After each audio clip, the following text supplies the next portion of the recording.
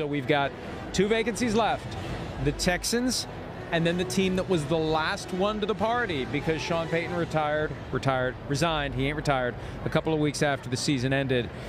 The Saints and Chris, I think that, and we talked about this briefly earlier. Even though Eric Bieniemy's in play, even though Eric Glenn's, Aaron Glenn's in play, excuse me, I think Dennis Allen is the favorite because of the continuity that naturally is baked in. Pete Carmichael removed his name from consideration last week. I think he realizes Dennis Allen gets it before him. Right.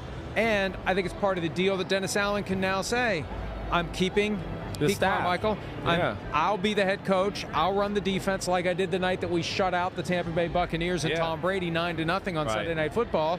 Let's try the continuity thing and see where it goes. And and I think that that's going to be attractive to the organization at least in the short term.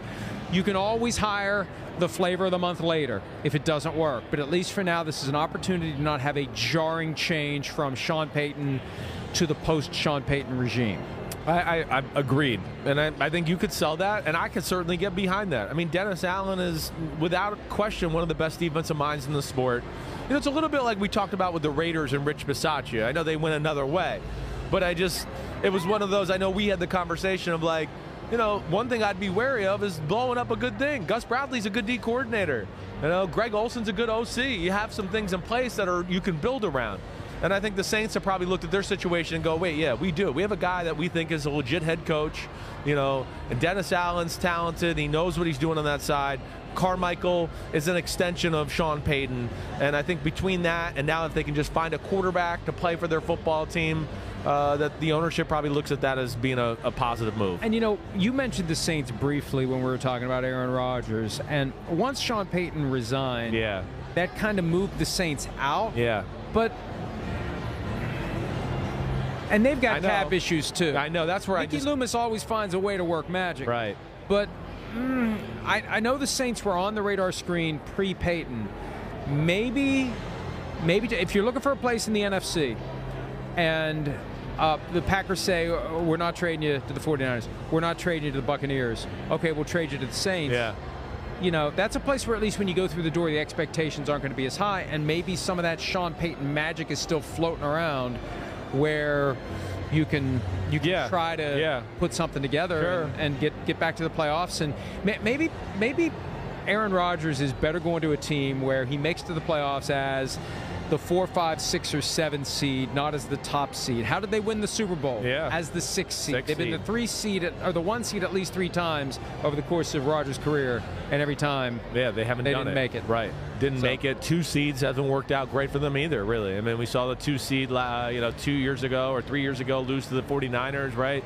They were a two seed the year they lost to Seattle. In that game, they blew in the fourth quarter up 18 to 7.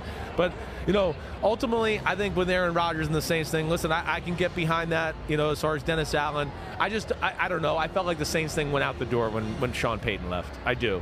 You know, I You're guess my heart, right. my heart of hearts. And, and then I think added on to that, you know, what's the Michael Thomas situation right there? I think there's a lot of questions there. And like you said, they have probably more serious salary cap issues than Green Bay, let alone, I think, more of a aging team than Green Bay. And that, for me, I would probably say that takes Rodgers out of that. If you don't want to be part of a rebuild with the Packers, Yeah, why would would you he want to jump there? to a new team that's in the process of Right. rebuilding? And why would they want him? Why would they want him? That's the other side of Yeah. it too. So that probably doesn't doesn't make sense. But I, I'm just in the mode where I'm not going to Yeah, rule out anything. I You you. never know. No, no, you I never got you. know. Throwing Crazier things have happened. Yeah. Crazier things have happened this week. So uh, you got to be ready for anything. And the Saints, if they don't go with Rodgers, as we think they won't, where do they go? What do they do for quarterback? Try to draft somebody and develop? Do they give Taysom Hill the opportunity to become the guy? You, you've you've still got uh, Trevor Siemian floating around. Yeah, I know. He's you know, still Jameis, there. Jameis Winston. The problem with Jameis Winston is he's not going to be healthy until you've already had to make your decision about who you're going to Right. be working with. Right. Um, they, they, they, they got a hell of a decision to make at quarterback. They do. They got, they got to figure something out. The one good thing is, I think you mentioned it. I mean, I don't think you mentioned it. You mentioned it. They have Taysom Hill, at least as far as of a jack of all trades. If there's not something that really jumps out or pops out to them, they can just say, okay, we're going to ride him as a quarterback and maybe draft a guy, develop, whatever, or wait another year because they, they know the next year's draft's going to be better. There's some quarterbacks that might be free agents. but uh, certainly got a decision there because I think even you know even in spite of Jameis's injury, you know, I think even if he didn't have that, I think there was still going to be big questions about whether he was the guy going forward. I mean, we broke down some of his games. You know, they were they weren't necessarily, you know, entrusting him and letting him just let it fly. They were managing him in, managing well, him. We talked about his short game inaccuracies at times and things like that. So I think they were going to be looking for a QB almost no matter what. Everything they gained in the downfield passing over Drew Brees. Right. They, they lost, lost in the, in the managing stuff. underneath, right. the way that Drew Brees did it with precision, yeah. timing, running the offense to perfection. Jameis Winston could never quite get there. And how many times did we see him? You know, and we didn't see a lot of him. He was injured week eight or week nine, but it was all, he was always looking for that deep shot. Yeah. And always looking for it, always looking for it, and then he'd settle for something underneath. But it, I have a feeling that it won't be him. I don't know where. We're going to see him as a backup next year because yeah. that knee injury happened so late. Unless right. he is ready to go very soon, these seats are going to get filled with tentative starters, and he's not going to be one of them. Hi, I'm Mike Tirico, and thanks for watching. Make sure to hit subscribe for the latest news and highlights from NBC Sports.